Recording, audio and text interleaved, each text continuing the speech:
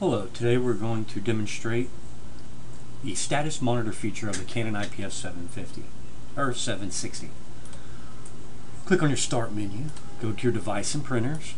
Here you'll see the Canon IPF 760. You'll right click, go to printing preferences. Now you'll see the Canon IPF 760 printing preferences driver application. This gives you your main page, page setup, layout, favorites, utility and support tabs from the main tab at the bottom. In the middle you'll see the status monitor. If you click this, it will now bring up your status monitor. At this point it gives you the status of the printer. Right now my printer says the ink tank is low on the matte black, so I need to get a new matte black and have it ready. And here you can see the two exclamation points stating the matte blacks are low. These will go down at the same time because there's two channels fed into one line because uh, it's your most commonly used uh, color. Anyway, you'll see that our cyan's a little low, magenta yellow or full, black's yellow. Our maintenance cartridge still has 80% left.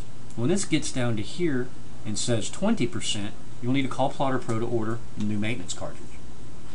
At the top you have job menu. This will have the jobs. Your accounting menu. This will have the accounting features.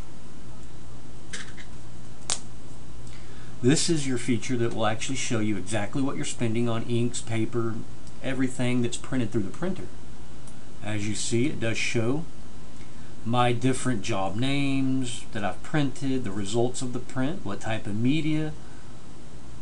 It also has the size, paper consumed, the width, paper length, ink consumed, job time, start, just about all the information you want.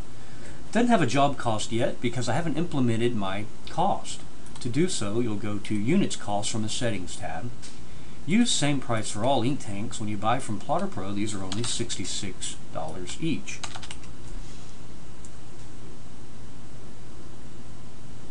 I'll hit OK. And then we'll also set our pricing for paper.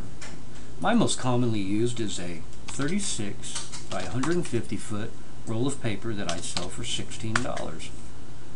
We're going to add that to our profile and OK.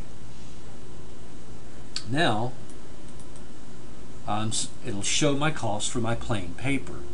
Um, it doesn't show cost yet for satin photo, heavyweight, because I haven't implemented my cost on what I'm paying for those yet. It's the only reason that is blank. Um, so on the plain paper uh, example here, we can see that I printed an 22 by 34 ANSI D. Uh, it's almost six square feet.